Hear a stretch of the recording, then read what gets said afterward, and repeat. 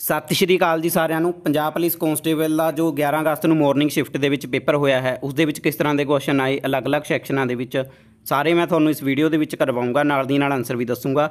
ਤੇ ਜੋ ਮੈਂ ਪੁਰਾਣੀਆਂ ਵੀਡੀਓਜ਼ ਦੇ ਵਿੱਚ, ਪੁਰਾਣੀਆਂ ਸ਼ਿਫਟਾਂ ਦੇ ਜੋ ਪੇਪਰ ਹੋਏ, ਉਸ ਦੇ ਵਿੱਚ ਦੱਸਿਆ ਸੀ ਕਿ ਇਹ ਕੁਐਸਚਨ ਆਊਗਾ। ਬਿਲਕੁਲ ਡਿਟੋ ਉਹੀ ਕੁਐਸਚਨ ਰਿਪੀਟ ਹੋ ਰਹੇ ਹਨ। ਵੀਡੀਓ ਨੂੰ ਸਕਿਪ ਨਾ ਕਰਿਓ, ਪੂਰੀ ਵੀਡੀਓ ਧਿਆਨ ਨਾਲ ਦੇਖਿਓ, ਕਿਉਂਕਿ ਇੱਕ ਇੱਕ ਨੰਬਰ ਦੀ ਲੜਾਈ ਹੈ। ਇੱਕ ਨੰਬਰ ਪਿੱਛੇ ਵੀ ਤੁਸੀਂ ਮੈਰਿਟ ਵਿੱਚ ਆਉਣ ਤੋਂ ਰਹਿ ਸਕਦੇ ਆ ਤੇ ਦੂਜਾ ਕੰਮ ਕਰੋ, ਮੇਰੇ ਨੰਬਰ ਦੇ ਉੱਤੇ ਸਾਰੇ ਜਾਣੇ ਮੈਸੇਜ ਜ਼ਰੂਰ ਕਰ ਲਓ।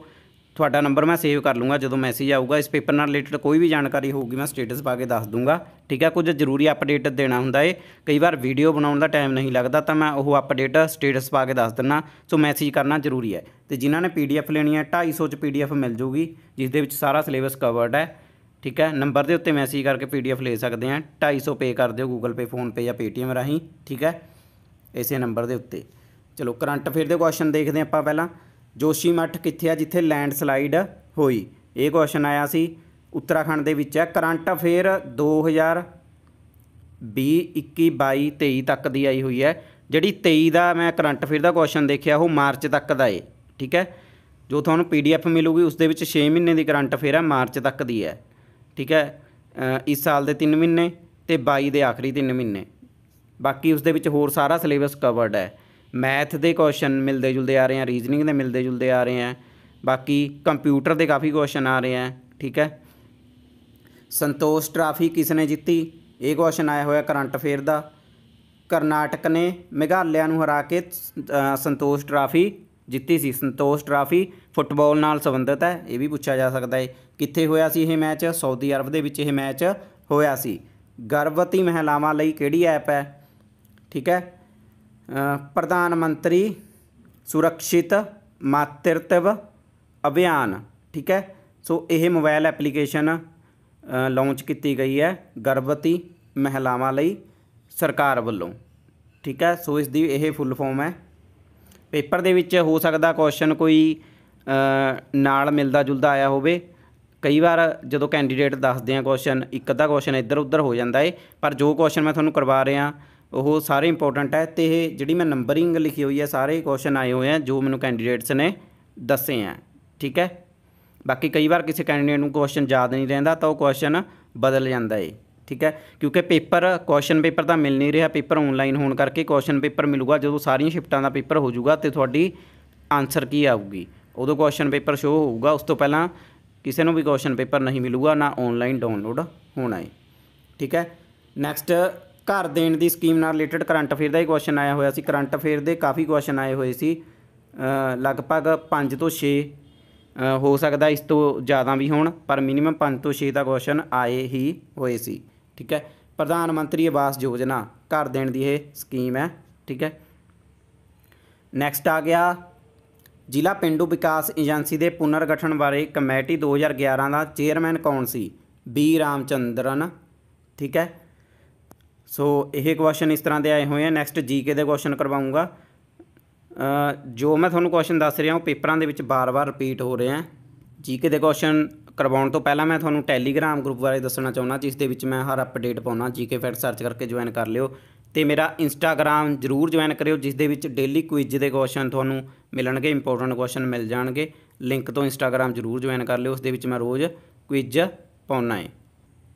ਆ ਪੀਡੀਐਫ ਹੈ ਜਿਹੜੀ ਇਸ ਦੇ ਵਿੱਚ ਪੂਰਾ ਸਿਲੇਬਸ ਕਵਰਡ ਹੈ। ਪ੍ਰੈਕਟਿਸ ਲਈ 10 ਮੌਕ ਟੈਸਟ ਪੰਜਾਬੀ ਦੇ ਤੇ 5 ਮੌਕ ਟੈਸਟ ਕਨਸਟੇਬਲ ਦੇ plus previous year question paper ਠੀਕ ਹੈ? ਸਾਰਾ ਕੁਝ ਤੁਹਾਨੂੰ ਇਸ ਦੇ ਵਿੱਚ ਮਿਲ ਜੂਗਾ। ਨਾਲ ਦੀ ਨਾਲ ਆਨਸਰ ਵੀ ਦਿੱਤੇ ਹੋਏ ਆ। ਸਿਰਫ 250 ਤੁਸੀਂ ਇਹ ਪੀਡੀਐਫ ਲੈ ਸਕਦੇ ਆ।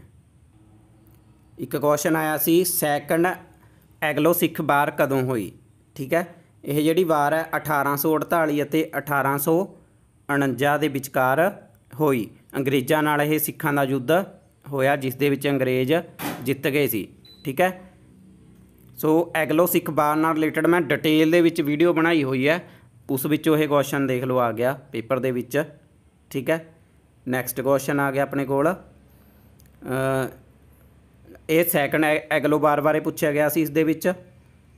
ਫਸਟ ਬਾਰੇ ਕਿਸੇ ਨਾ ਕਿਸੇ ਸ਼ਿਫਟ ਵਿੱਚ ਜ਼ਰੂਰ ਪੁੱਛਿਆ ਜਾ ਸਕਦਾ ਹੈ, ਤਾਂ ਇਸ ਨੂੰ ਵੀ ਯਾਦ ਕਰ ਲਓ। ਈਸਟ ਇੰਡੀਆ ਕੰਪਨੀ ਜੋ ਅੰਗਰੇਜ਼ਾਂ ਦੀ ਕੰਪਨੀ ਸੀ, ਉਸ ਦੇ ਵਿਚਕਾਰ 1845 ਅਤੇ 46 ਦੇ ਵਿੱਚ ਪਹਿਲੀ ਐਗਲੋ ਸਿੱਖ ਵਾਰ ਹੋਈ। 48 ਅਤੇ 49 ਦੇ ਵਿੱਚ ਦੂਜੀ ਐਗਲੋ ਸਿੱਖ ਵਾਰ ਹੋਈ। ਠੀਕ ਹੈ? ਇੱਕ ਕੈਂਡੀਡੇਟ ਦੱਸ ਰਹੇ ਸੀ ਟੇ ਸ਼ਬਦ। ਠੀਕ ਹੈ? ਮੈਨੂੰ ਲੱਗਦੀ ਉਹ ਥੇ ਹੋਊਗਾ, ਸ਼ਾਇਦ ਉਹਨਾਂ ਨੇ ਟੇ ਕਹਿਤਾ ਹੋਊਗਾ। ਪਰ ਟੇ ਹੋਊਗਾ ਜਾਂ ਥੇ ਕੀ ਆਇਆ ਸੀ ਉਹ ਕਮੈਂਟ ਕਰਕੇ ਦੱਸ ਦਿਓ। ਠੀਕ ਹੈ? ਸੋ ਜੇ ਥੇ ਆਇਆ ਹੋਊਗਾ ਤਾਂ ਉਸ ਦਾ ਮਤਲਬ ਹੁੰਦਾ ਹੈ ਖੰਡਰ ਜਾਂ ਟਿੱਬਾ। ਕਿਸੇ ਸ਼ਬਦ ਦਾ ਅਰਥ ਪੁੱਛਿਆ ਗਿਆ ਸੀ, ਠੀਕ ਹੈ? ਟੇ ਸੀ ਜਾਂ ਥੇ ਇਹ ਮੈਂ ਕਨਫਰਮ ਨਹੀਂ ਹੈਗਾ, ਮੈਨੂੰ ਕਮੈਂਟ ਕਰਕੇ ਦੱਸ ਸਕਦੇ ਆ ਜਿਨ੍ਹਾਂ ਨੇ ਸ਼ਿਫਟ ਦੇ ਵਿੱਚ ਪੇਪਰ ਦਿਆ ਕੀ ਆਇਆ ਸੀ। ਕਿਹੜੇ ਦੋ ਦਰਿਆ ਪਾਕਿਸਤਾਨ ਵਿੱਚ ਚਲੇ ਗਏ? ਇਹ ਕੁਐਸਚਨ ਆਇਆ ਸੀ, ਚਨਾਬ ਅਤੇ ਜੇਲਮ, ਇਹ ਵੀ ਮੈਂ ਤੁਹਾਨੂੰ ਕਰਵਾਇਆ ਸੀ। ਇਸ ਤੋਂ ਪਹਿਲਾਂ ਵਾਲੀ ਸ਼ਿਫਟ ਦੇ ਵਿੱਚ ਹੀ ਕਰਵਾਇਆ ਸੀ, ਠੀਕ ਹੈ? ਪੰਜਾਬ ਵਿੱਚ ਕਿਹੜੇ ਦਰਿਆ ਉਹ ਵੀ ਦੱਸਿਆ ਸੀ, ਚੜ੍ਹਦੇ ਪੰਜਾਬ ਦੇ ਵਿੱਚ। ਪੰਜਾਬ ਵਿੱਚ ਔਰਤਾਂ ਦੀ ਸਾਖਰਤਾ ਦਰ, ਇਹ ਕੁਐਸਚਨ ਦੇਖ ਲਓ ਮੈਂ। ਹਰੇਕ ਵੀਡੀਓ ਦੇ ਵਿੱਚ ਤੁਹਾਨੂੰ ਦੱਸਦਾ ਕਿ ਜਨਗਣਨਾ ਨਾਲ ਰਿਲੇਟਡ ਕੁਐਸਚਨ ਜ਼ਰੂਰ ਆ ਰਹੇ ਆ ਪੇਪਰ ਦੇ ਵਿੱਚ, ਇਹ ਵੀ ਦੇਖ ਲਓ ਆਇਆ ਹੋਇਆ। ਦੇਖ, ਪੰਜਾਬ ਦੀ ਕੁੱਲ ਸਾਖਰਤਾ ਦਰ ਕਿੰਨੀ ਹੈ? 2011 ਦੀ ਜਨਗਣਨਾ ਦੇ ਅਨੁਸਾਰ, ਠੀਕ ਹੈ? 75.84% ਹੈ। ਇਸ ਦੇ ਵਿੱਚੋਂ ਮਰਦਾਂ ਦੀ ਕਿੰਨੀ ਹੈ? ਮਰਦਾਂ ਦੀ ਹੈਗੀ ਹੈ 80.44% ਠੀਕ ਹੈ? ਔਰਤਾਂ ਦੀ ਕਿੰਨੀ ਹੈ? 70.73% ਠੀਕ ਹੈ? ਹੁਣ ਅਗਲੀ ਸ਼ਿਫਟ ਦੇ ਵਿੱਚ ਤੁਹਾਨੂੰ ਇਹ ਕੁਐਸਚਨ ਆ ਸਕਦਾ ਕਿ ਕੁੱਲ ਸਾਖਰਤਾ ਦਰ ਕਿੰਨੀ ਹੈ? 75.84 ਯਾਦ ਰੱਖਿਓ।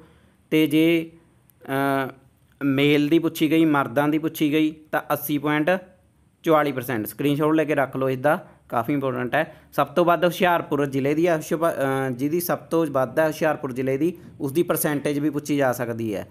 ਤਾਂ 84.6% ਹੈ। ਸਭ ਤੋਂ ਜ਼ਿਆਦਾ ਹੁਸ਼ਿਆਰਪੁਰ ਦੀ ਸਭ ਤੋਂ ਘੱਟ ਮਾਨਸਾ ਦੀ ਹੈ। 61.8% ਠੀਕ ਹੈ। ਸੋ ਪੇਪਰ ਜੋ ਦੇ ਵਿੱਚ ਜੋ ਕੁਐਸਚਨ ਆਇਆ ਸੀ, ਉਹ ਇਹ ਸੀ, ਪੰਜਾਬ ਵਿੱਚ ਔਰਤਾਂ ਦੀ ਸਾਖਰਤਾ ਦਰ। ਇਸ ਦਾ ਆਨਸਰ ਹੈ 70.73 ਇਸ ਦੇ ਨਾਲ ਮਿਲਦੇ ਜੁਲਦੇ ਦੇਖ ਲਓ, ਤਿੰਨ ਚਾਰ ਕੁਐਸਚਨ ਬਣਦੇ ਆ। ਜਰੂਰ ਆਉਣ ਵਾਲੀ ਸ਼ਿਫਟਾਂ ਦੇ ਵਿੱਚ ਆਉਂਗੇ। ਪਹਿਲਾਂ ਤੁਹਾਨੂੰ ਕੁਐਸਚਨ ਦੱਸ ਰਿਹਾ ਹਾਂ ਮੈਂ। 2011 ਦੀ ਮਰਦਮਸ਼ੁਮਾਰੀ ਦੇ ਅਨੁਸਾਰ ਪੰਜਾਬ ਵਿੱਚ ਲਿੰਗ ਅਨੁਪਾਤ ਕਿੰਨਾ ਹੈ? ਹਜ਼ਾਰ ਮਰਦਾਂ ਪਿੱਛੇ 893 ਔਰਤਾਂ। ਤੇ ਬਾਲ ਲਿੰਗ ਅਨੁਪਾਤ ਇਹ ਕੁਐਸਚਨ ਵੀ ਮੈਂ ਤੁਹਾਨੂੰ ਪਹਿਲਾਂ ਕਰਵਾਇਆ ਸੀ ਤੇ ਇਹ ਕੁਐਸਚਨ ਆ ਗਿਆ ਸੀ 846 ਹੈ, ਠੀਕ ਹੈ? ਸਭ ਤੋਂ ਵੱਧ ਲਿੰਗ ਅਨੁਪਾਤ ਹੁਸ਼ਿਆਰਪੁਰ ਜ਼ਿਲ੍ਹੇ ਦਾ ਹੈ, ਸਭ ਤੋਂ ਘੱਟ ਬਠਿੰਡੇ ਜ਼ਿਲ੍ਹੇ ਦਾ ਹੈ, ਠੀਕ ਹੈ? ਸੋ ਇਹ ਕੁਐਸਚਨ ਆ ਗਿਆ। ਹਿੰਦੂ ਧਰਮ ਵਾਲਾ ਕੁਐਸਚਨ ਫੇਰ ਰਿਪੀਟ ਹੋ ਗਿਆ। ਧਰਮਾਂ ਦੀ ਪਰਸੈਂਟੇਜ ਨੂੰ ਲੈ ਕੇ ਕੁਐਸਚਨ ਹਰੇਕ ਸ਼ਿਫਟ ਦੇ ਵਿੱਚ ਆ ਰਹੇ ਆ। ਇਹ ਮੈਂ ਬਾਰ-ਬਾਰ ਤੁਹਾਨੂੰ ਕਰਵਾ ਰਿਹਾ। 38% ਹੈ ਇੱਕ ਵਾਰੀ ਫੇਰ ਮੈਂ ਪਰਸੈਂਟੇਜ ਦਿਖਾ ਦਿੰਦਾ ਸਕਰੀਨਸ਼ਾਟ ਲੈ ਲਿਓ। ਇਸ ਦਾ ਸਕਰੀਨਸ਼ਾਟ ਲੈ ਕੇ ਰੱਖ ਲਓ। ਪਹਿਲਾਂ ਵੀ ਮੈਂ ਦੱਸਿਆ ਕਿ ਜ਼ਰੂਰ ਇਸ ਦੇ ਵਿੱਚੋਂ ਕੁਐਸਚਨ ਪੇਪਰ ਦੇ ਵਿੱਚ ਆਉਣ ਵਾਲੀਆਂ ਸ਼ਿਫਟਾਂ ਦੇ ਵਿੱਚ ਆਊਗਾ। ਠੀਕ ਹੈ? ਸਭ ਤੋਂ ਜ਼ਿਆਦਾ ਸਿੱਖ ਧਰਮ ਹੈ। ਉਸ ਤੋਂ ਬਾਅਦ ਹਿੰਦੂ ਧਰਮ ਹੈ, ਫਿਰ ਇਸਲਾਮ ਫਿਰ ਕ੍ਰਿਸਚਨ ਫਿਰ ਜੈਨ ਧਰਮ ਤੇ ਫਿਰ ਬੁੱਧ ਧਰਮ। ਆਹ ਜੋ ਪਰਸੈਂਟੇਜ ਲਿਖੀ ਹੋਈ ਹੈ, ਇਹ ਤੁਹਾਨੂੰ ਯਾਦ ਹੋਣੀ ਚਾਹੀਦੀ ਹੈ। ਪੇਪਰ ਦੇ ਵਿੱਚ ਇਹ ਪੁੱਛੀ ਜਾ ਰਹੀ ਹੈ ਕਿ ਕਿਹੜੇ ਧਰਮ ਦੀ ਪਰਸੈਂਟੇਜ ਕਿੰਨੀ ਹੈ? ਆਹ ਕੁਐਸਚਨ ਤਾਂ ਦੋ ਵਾਰੀ ਰਿਪੀਟ ਹੋ ਗਿਆ, ਹਿੰਦੂ ਧਰਮ ਵਾਲਾ, ਠੀਕ ਹੈ? ਸੋ ਸਕਰੀਨਸ਼ਾਟ ਲੈ ਲਓ। ਨੈਕਸਟ ਕੁਐਸਚਨ ਆਇਆ ਸੀ, ਲੋਧੀ ਕਿਲਾ ਕਿਸ ਨਦੀ ਦੇ ਕੰਢੇ ਦੇ ਉੱਤੇ ਹੈ ਸਤਲੁਜ ਦੇ ਦ- ਦਰਿਆ ਦੇ ਕੰਢੇ ਦੇ ਉੱਤੇ ਹੈ ਦੇਸੀ ਮਹੀਨੇ ਦੇ ਦੋ ਆਪਰੇਸ਼ਨ ਆਏ ਸੀ, ਸੌਣ ਤੋਂ ਬਾਅਦ ਕਿਹੜਾ ਮਹੀਨਾ ਆਉਂਦਾ ਏ? ਦੇਸੀ ਮਹੀਨਿਆਂ ਨਾਲ ਰਿਲੇਟਡ ਸਾਰਾ ਮੈਂ ਟੈਲੀਗ੍ਰਾਮ ਦੇ ਉੱਤੇ ਪਾਇਆ ਹੋਇਆ, ਠੀਕ ਹੈ? ਜੀਕੇ ਫੈਕਟ ਸਰਚ ਕਰਕੇ ਟੈਲੀਗ੍ਰਾਮ ਦੇ ਉੱਤੇ ਜਾ ਕੇ ਦੇਖ ਲਿਓ। ਬਾਕੀ ਮੈਂ ਜੋ ਕੁਇਜ਼ ਪਾਉਣਾ ਇੰਸਟਾ ਦੇ ਉੱਤੇ ਉਸ ਦੇ ਵਿੱਚ ਵੀ ਮੈਂ ਇਸ ਤਰ੍ਹਾਂ ਦੇ ਕੁਐਸਚਨ ਪਾ ਦਿੰਨਾ ਏ। ਠੀਕ ਹੈ? ਦੇਸੀ ਮਹੀਨਿਆਂ ਨਾਲ ਰਿਲੇਟਡ ਹਰੇਕ ਸ਼ਿਫਟ ਦੇ ਵਿੱਚ ਕੁਐਸਚਨ ਆਉਣੇ ਹੀ ਆਉਣੇ ਆ। ਤੁਹਾਨੂੰ ਸੀਕੁਐਂਸ ਵਾਈਜ਼ ਪਤਾ ਹੋਣਾ ਚਾਹੀਦਾ ਕਿ ਪਹਿਲਾ ਮਹੀਨਾ ਕਿਹੜਾ, ਆਖਰੀ ਕਿਹੜਾ, ਚੌਥਾ ਮਹੀਨਾ ਕਿਹੜਾ, ਅੱਠਵਾਂ ਮਹੀਨਾ ਕਿਹੜਾ, ਠੀਕ ਹੈ?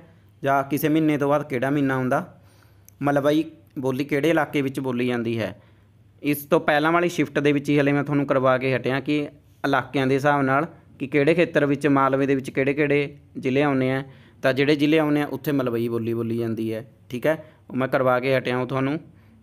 ਉਹ ਵੀ ਮੈਂ ਟੈਲੀਗ੍ਰਾਮ ਦੇ ਉੱਤੇ ਪਾ ਦੂੰਗਾ, ਦੇਖ ਲਿਓ ਉੱਥੇ ਜਾ ਕੇ। 1947 ਚ ਪੰਜਾਬ ਦੇ ਮੁੱਖ ਮੰਤਰੀ ਕੌਣ ਸਨ? ਪਹਿਲੇ ਮੁੱਖ ਮੰਤਰੀ ਗੋਪੀ ਚੰਦ ਭਾਰਗਵ, ਠੀਕ ਹੈ? ਚਲੋ ਨੈਕਸਟ ਸਾਇੰਸ ਦੇ ਕੁਐਸਚਨ ਦੇਖਦੇ ਹਾਂ। ਫ੍ਰਿਜ ਨੂੰ ਠੰਡਾ ਰੱਖਣ ਲਈ ਕੀ ਵਰਤਿਆ ਜਾਂਦਾ ਹੈ? ਇਹ ਕੁਐਸਚਨ ਹੋ ਸਕਦਾ ਕਿ ਥੋੜਾ ਅਲੱਗ ਹੋਵੇ ਪੇਪਰ ਦੇ ਵਿੱਚ, ਠੀਕ ਹੈ? ਟੈਟਰਾਫਲੂ, ਟੈਟਰਾਫਲੂਰੋ ਇਥੇਨ, ਠੀਕ ਹੈ? ਇਹ ਫ੍ਰਿਜ ਨੂੰ ਠੰਡਾ ਕਰਨ ਦੇ ਲਈ ਵਰਤਿਆ ਜਾਂਦਾ ਹੈ। ਸੋ ਇਸ ਤਰ੍ਹਾਂ ਦਾ ਇਹ ਕੁਐਸਚਨ ਆਇਆ ਹੋਇਆ ਸੀ ਸੈਨ ਦਾ। ਬਾਕੀ ਗੁਬਾਰੇ ਦੇ ਵਿੱਚ ਕਿਹੜੀ ਗੈਸ ਭਰੀ ਜਾਂਦੀ ਹੈ? ਸੌਣ ਵਾਲੀ ਗੈਸ ਕਿਹੜੀ ਹੈ? ਰੈਫਰੀ, ਰੈਫਰੀਜਰੇਟਰ ਜਾਂ ਫ੍ਰਿਜ ਦੇ ਵਿੱਚ ਕਿਹੜੀ ਗੈਸ ਹੁੰਦੀ ਹੈ? ਇਹ ਕੁਐਸਚਨ ਵੀ ਪਹਿਲੀਆਂ ਸ਼ਿਫਟਾਂ ਦੇ ਵਿੱਚ ਵੀ ਆਲੇ ਇਸ ਤਰ੍ਹਾਂ ਦੇ ਕੁਐਸਚਨ ਤੇ ਆਉਣ ਵਾਲੀਆਂ ਸ਼ਿਫਟਾਂ ਦੇ ਵਿੱਚ ਵੀ ਆ ਸਕਦੇ ਆ। ਠੀਕ ਹੈ? ਐਮਐਲਏ ਦੀ ਚੋਣ ਕਿਵੇਂ ਹੁੰਦੀ ਹੈ? ਇਹ ਕੁਐਸਚਨ ਆਇਆ ਹੋਇਆ ਸੀ ਇੱਕ ਪੋਲਟੀ ਦਾ। ਜਿਹੜੇ ਚੋਣ ਹਲਕੇ ਦੇ ਵੋਟਰ ਹੈ, ਉਹ ਚੁਣਦੇ ਆ। ਮਤਲਬ ਲੋਕਾਂ ਦੁਆਰਾ ਐਮਐਲਏ ਦੀ ਚੋਣ ਕੀਤੀ ਜਾਂਦੀ ਹੈ। ਤੇ ਇਸ ਦੀ ਫੁੱਲ ਫਾਰਮ ਪੜ੍ਹ ਲਓ ਇੱਥੇ। ਠੀਕ ਹੈ ਐਮਐਲਏ ਦੀ ਫੁੱਲ ਫਾਰਮ ਵੀ ਆ ਸਕਦੀ ਹੈ ਪੇਪਰ ਦੇ ਵਿੱਚ। ਚਲੋ ਨੈਕਸਟ ਨਾਗਰਿਕਤਾ ਕਿਸ ਭਾਗ ਵਿੱਚ ਆਉਂਦੀ ਹੈ? ਇਹ ਕੁਐਸਚਨ ਵੀ ਰਿਪੀਟ ਹੋ ਗਿਆ। ਪਾਰਟ 2 ਆਰਟੀਕਲ 5 ਤੋਂ 11 ਦੇ ਵਿੱਚ ਨਾਗਰਿਕਤਾ ਯਾਨੀ ਕਿ ਸਿਟੀਜ਼ਨਸ਼ਿਪ ਦਾ ਜ਼ਿਕਰ ਕੀਤਾ ਗਿਆ ਹੈ। ਠੀਕ ਹੈ ਸੰਵਿਧਾਨ ਕਦੋਂ ਬਣਿਆ? ਅ, 26 ਨਵੰਬਰ 1949 ਨੂੰ ਸੰਵਿਧਾਨ ਬਣ ਕੇ ਤਿਆਰ ਹੋਇਆ। ਉਸ ਤੋਂ ਬਾਅਦ ਕੰਪਿਊਟਰ ਦੇ ਕੁਐਸਚਨ ਦੇਖਦੇ ਹਾਂ। ਕੰਪਿਊਟਰ ਦਾ ਇੱਕ ਕੁਐਸਚਨ ਆਇਆ ਸੀ ਆਈਪੀਵੀ 6 ਜਾਂ IPv4 ਨਾਲ ਰਿਲੇਟਡ ਸੀ। ਮਤਲਬ ਇਹਨਾਂ ਦੋਨਾਂ ਚੋਂ ਇੱਕ ਕੁਐਸਚਨ ਸੀ ਉਹ। IPv6 ਪੁੱਛਿਆ ਗਿਆ ਸੀ ਜਾਂ IPv4 ਇਸ ਦੀ ਫੁੱਲ ਫਾਰਮ ਹੈ ਇੰਟਰਨੈਟ ਪ੍ਰੋਟੋਕੋਲ ਵਰਜ਼ਨ 4 ਜਾਂ 6 ਠੀਕ ਹੈ? ਇਹ ਕਿੰਨੇ ਬਿਟ ਨੂੰ ਸਪੋਰਟ ਕਰਦਾ ਹੈ? IPv ਜਿਹੜਾ 6 ਹੈ, ਇਹ ਕਰਦਾ 128 ਬਿਟ ਨੂੰ। IPv4 ਕਰਦਾ 32 ਬਿਟ ਨੂੰ, ਠੀਕ ਹੈ? ਸੋ ਮੈਨੂੰ ਇਹ ਨਹੀਂ ਪਤਾ ਕਿ IPv6 ਪੁੱਛਿਆ ਗਿਆ ਪੇਪਰ ਦੇ ਵਿੱਚ ਜਾਂ 4 ਪਰ ਕਿਸੇ, ਜੇ ਇਹਨਾਂ ਵਿੱਚੋਂ ਕੋਈ ਵੀ ਇੱਕ ਕੁਐਸਚਨ ਪੁੱਛਿਆ ਗਿਆ, ਹੋ ਸਕਦਾ ਅਗਲੀ ਸ਼ਿਫਟ ਦੇ ਵਿੱਚ IPv ਜੇ ਇਸ ਦੇ ਵਿੱਚ 6 ਪੁੱਛਿਆ ਗਿਆ ਤਾਂ ਅਗਲੀ ਦੇ ਵਿੱਚ ਹੋ ਸਕਦਾ IPv4 ਪੁੱਛ ਲੈਣ, ਠੀਕ ਹੈ? IPv4 32 ਬਿਟ ਨੂੰ ਸਪੋਰਟ ਕਰਦਾ ਹੈ IPv6 128 ਬਿਟ ਨੂੰ ਫੁੱਲ ਫਾਰਮ ਹੈ ਇਸ ਦੀ ਇੰਟਰਨੈਟ ਪ੍ਰੋਟੋਕੋਲ ਵਰਜ਼ਨ 4 ਜਾਂ 6 ਤੇ ਆਈਪੀ ਐਡਰੈਸ ਕੀ ਹੁੰਦਾ ਏ? ਇਹ ਯੂਨੀਕ ਆਇਡੈਂਟੀਟੀ ਹੁੰਦੀ ਹੈ ਹਰੇਕ ਕੰਪਿਊਟਰ ਦੀ, ਠੀਕ ਹੈ? ਯੂਨੀਕ ਆਇਡੈਂਟੀਟੀ ਆਫ ਕੰਪਿਊਟਰ ਇਸ ਦੀ ਫੁੱਲ ਫਾਰਮ ਹੈ ਇੰਟਰਨੈਟ ਪ੍ਰੋਟੋਕੋਲ ਇੱਕ ਇਹ ਕੁਐਸਚਨ ਪੁੱਛਿਆ ਗਿਆ ਸੀ ਫੋਨ ਅਤੇ ਮੈਸੇਜ ਨੂੰ ਕਿਵੇਂ ਸਾਇਲੈਂਟ ਕਰ ਸਕਦੇ ਹਾਂ ਆਪਾਂ ਫੋਨ ਦੇ ਉੱਤੇ ਮੈਸੇਜ ਨੂੰ ਕਿਵੇਂ ਸਾਇਲੈਂਟ ਕਰ ਸਕਦੇ ਹਾਂ? ਬਲੌਕ ਕਰਕੇ ਜਾਂ ਰਿਪੋਰਟ ਜਾਂ ਸਪੈਮ ਕਰਕੇ, ਠੀਕ ਹੈ? ਥੋੜਾ ਇਹ ਵੀ ਕੁਐਸਚਨ ਅਲੱਗ ਹੋ ਸਕਦਾ ਪੇਪਰ ਦੇ ਵਿੱਚ, ਬਾਕੀ ਕਮੈਂਟ ਕਰਕੇ ਦੱਸ ਦਿਓ ਜੇ ਅਲੱਗ ਹੋਇਆ। ਐਮਐਸ ਆਫਿਸ ਦੇ ਕੁਐਸਚਨ ਪੁੱਛੇ ਗਏ। ਉਸ ਤੋਂ ਇਲਾਵਾ ਰੀਜ਼ਨਿੰਗ ਰੀਜ਼ਨਿੰਗ ਦੀ ਜੇ ਗੱਲ ਕਰੀਏ ਸੀਟਿੰਗ ਅਰੇਂਜਮੈਂਟ ਦੇ ਕੁਐਸਚਨ ਆਏ ਆ, ਇਸ ਦੇ ਵਿੱਚ ਸਿੰਪਲੀਫਿਕੇਸ਼ਨ ਦੇ ਕੁਐਸਚਨ ਆਏ ਆ ਕਨਕਲੂਜਨ ਦੇ ਕੁਐਸਚਨ ਆਏ ਆ 4 ਤੋਂ 5 ਠੀਕ ਹੈ ਸੀਟਿੰਗ ਅਰੇਂਜਮੈਂਟ ਦੇ ਕੁਐਸਚਨ ਕਈ ਸ਼ਿਫਟਾਂ ਦੇ ਵਿੱਚ ਬਹੁਤ ਜ਼ਿਆਦਾ ਆ ਰਹੇ ਆ, ਕਈਆਂ ਦੇ ਵਿੱਚ ਇੱਕ ਦੋ ਹੀ ਆ ਰਿਹਾ, ਕਈਆਂ ਦੇ ਵਿੱਚ ਬਿਲਕੁਲ ਨਹੀਂ ਆ ਰਿਹਾ। ਤੇ ਇਸ ਸ਼ਿਫਟ ਦੇ ਵਿੱਚ ਬਲੱਡ ਰਿਲੇਸ਼ਨ ਦਾ ਕੋਈ ਵੀ ਕੁਐਸਚਨ ਨਹੀਂ ਆਇਆ ਨੰਬਰ ਸੀਰੀਜ਼ ਦਾ ਕੋਈ ਵੀ ਕੁਐਸਚਨ ਨਹੀਂ ਆਇਆ ਆਇਆ। ਤੇ ਅਲਫਾਬੈਟਿਕ ਸੀਰੀਜ਼ ਦੇ ਕੁਐਸਚਨ ਆਏ ਆ, ਠੀਕ ਹੈ ਨੰਬਰ ਸੀਰੀਜ਼ ਜਿਵੇਂ ਆਹ ਵਾਲੀ ਸੀਰੀਜ਼ ਹੁੰਦੀ ਹੈ ਜੋ ਇਸ ਦਾ ਕੋਈ ਵੀ ਕੁਐਸਚਨ ਨਹੀਂ ਆਇਆ, ਠੀਕ ਹੈ। ਜੇ ਮੈਥ ਦੀ ਗੱਲ ਕਰੀਏ ਪ੍ਰੋਫਿਟ ਲੋਸ ਹਰੇਕ ਸ਼ਿਫਟ ਦੇ ਵਿੱਚ ਆ ਰਿਹਾ ਸਿੰਪਲੀਫਿਕੇਸ਼ਨ ਵੀ ਆ ਰਹੀ ਹੈ। Simple interest average ratio time and distance time and work bar graph ਠੀਕ ਹੈ। ਇਹ ਮੈਥ ਦਾ ਆ ਰਿਹਾ, ਇਹ ਸਾਰਾ ਕੁਝ ਜੇ ਆਪਾਂ ਪੰਜਾਬੀ ਦੇ ਪੇਪਰ ਦੀ ਗੱਲ ਕਰੀਏ, ਤਾਂ ਉਸ ਦਾ ਤਾਂ ਕੋਈ ਫਾਇਦਾ ਹੀ ਨਹੀਂ, ਪੰਜਾਬੀ ਦਾ ਪੇਪਰ ਰੱਖਣ ਦਾ, ਠੀਕ ਹੈ। ਕਿਉਂਕਿ ਇਹ ਜਿਹੜਾ ਤੁਸੀਂ ਕਹਿੰਦੇ ਆ ਨਾ, ਪੰਜਾਬੀ ਦਾ ਪੇਪਰ ਬਹੁਤ ਆਸਾਨ ਸੀ ਆਸਾਨ ਸੀ। ਇਹ ਤੁਹਾਡੇ ਨਾਲ ਹੀ ਧੱਕਾ ਹੋ ਸਕਦਾ ਏ। ਕਿਸ ਤਰ੍ਹਾਂ ਹੋ ਸਕਦਾ? ਬਾਹਰਲੇ ਸੂਬਿਆਂ ਵਾਲੇ ਇਸ ਦੇ ਵਿੱਚ ਜੋਬ ਲੈ ਸਕਦੇ ਆ, ਠੀਕ ਹੈ? ਸੋ ਪੰਜਾਬੀ ਦਾ ਜਿਹੜਾ ਲੈਵਲ ਆ, ਉਹ ਇੰਨਾ ਆਸਾਨ ਨਹੀਂ ਹੋਣਾ ਚਾਹੀਦਾ, ਕਿਉਂਕਿ ਜੋ ਪੰਜਾਬ ਦੇ ਵਿੱਚ ਰਹਿੰਦਾ ਏ, ਉਹ ਤਾਂ ਆਸਾਨੀ ਨਾਲ ਪੰਜਾਬੀ ਕਰ ਹੀ ਲਊਗਾ। ਸੋ ਪੰਜਾਬੀ ਦੇ ਵਿੱਚ ਬੱਚੇ ਵੀ ਅਜਿਹੇ ਕੁਐਸਚਨ ਨੂੰ ਸੋਲਵ ਕਰਦੇ ਹਨ ਜਿਹੇ ਜੇ ਪੁੱਛੇ ਜਾ ਰਹੇ ਐਤਵਾਰ ਤੋਂ ਪਹਿਲਾਂ ਕਿਹੜਾ ਦਿਨ ਹੈ? ਸੋਮਵਾਰ ਤੋਂ ਬਾਅਦ ਕਿਹੜਾ ਦਿਨ ਹੈ? ਇਹ ਕੋਈ ਕੁਐਸਚਨ ਬਣਦੇ ਹੀ ਨਹੀਂ। ਪਤਾ ਨਹੀਂ ਕਿ ਕੌਣ ਪੇਪਰ ਸੈੱਟ ਕਰ ਰਿਹਾ ਹੈ ਐਵੇਂ ਦਾ, ਠੀਕ ਹੈ? ਕੋਈ ਸੈਂਸ ਬਣਦੀ ਨਹੀਂ ਹੈ ਇਸ ਤਰ੍ਹਾਂ ਦੇ ਕੁਐਸਚਨ ਪੁੱਛੇ ਜਾਣ।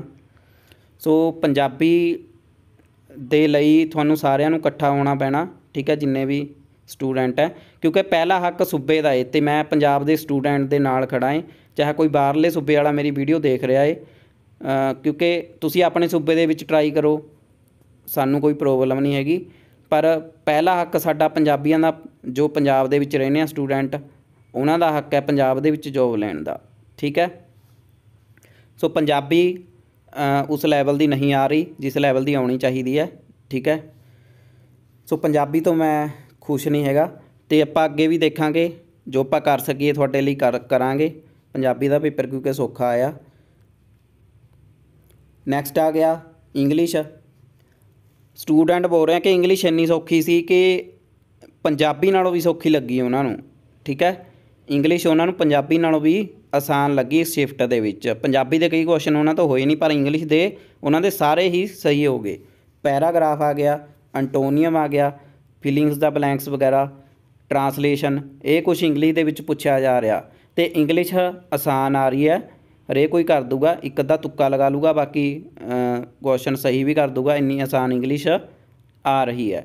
ਪਰ ਇਸ ਸ਼ਿਫਟ ਦੇ ਵਿੱਚ ਕਿਹਾ ਕੈਂਡੀਡੇਟਸ ਨੇ ਕਿ ਪੰਜਾਬੀ ਉਹਨਾਂ ਨੂੰ ਔਖੀ ਲੱਗੀ ਇੰਗਲਿਸ਼ ਨਾਲੋਂ, ਪਰ ਇੰਗਲਿਸ਼ ਦੇ ਉਹਨਾਂ ਦੇ ਸਾਰੇ ਸਹੀ ਹੋ ਜਾਣੇ, ਇੱਕ ਦੋ ਉਹਨਾਂ ਨੇ ਤੁੱਕੇ ਲਗਾਏ ਆ ਜੋ ਕਿ ਉਹਨਾਂ ਨੂੰ ਸਹੀ ਲੱਗਦੇ ਆ। ਤੇ ਪੇਪਰ ਦੇ ਵਿੱਚ ਤੁਸੀਂ 100 ਦਾ 100 ਕੁਐਸਚਨ ਕਰਨਾ ਹੀ ਕਰਨਾ ਹੈ, ਚਾਹੇ ਤੁਹਾਨੂੰ ਆਉਂਦਾ ਜਾਂ ਨਹੀਂ ਆਉਂਦਾ। ਕਿਉਂਕਿ ਕੋਈ ਵੀ ਨੈਗੇਟਿਵ ਮਾਰਕਿੰਗ ਨਹੀਂ ਆ ਪੇਪਰ ਦੇ ਵਿੱਚ, ਜੇ ਤੁਹਾਡਾ ਤੁੱਕਾ ਸਹੀ ਲੱਗ ਗਿਆ, ਤਾਂ ਤੁਹਾਨੂੰ ਪੂਰੇ ਨੰਬਰ ਮਿਲ ਜਾਣਗੇ ਠੀਕ ਹੈ? ਜੇ ਗਲਤ ਵੀ ਹੋ ਗਿਆ, ਕੋਈ ਨੁਕਸਾਨ ਨਹੀਂ ਹੈ। ਉਲਟਾ ਜੇ ਸਹੀ ਹੋ ਗਿਆ, ਤਾਂ ਇੱਕ ਨੰਬਰ ਦਾ ਫਾਇਦਾ ਹੀ ਹੋਊਗਾ। ਇੱਕ ਇੱਕ ਨੰਬਰ ਦੀ ਲੜਾਈ ਹੈ, ਸੋ ਸਾਰੇ ਜਾਣੇ ਜ਼ਰੂਰ ਕਰਿਓ, ਠੀਕ ਹੈ?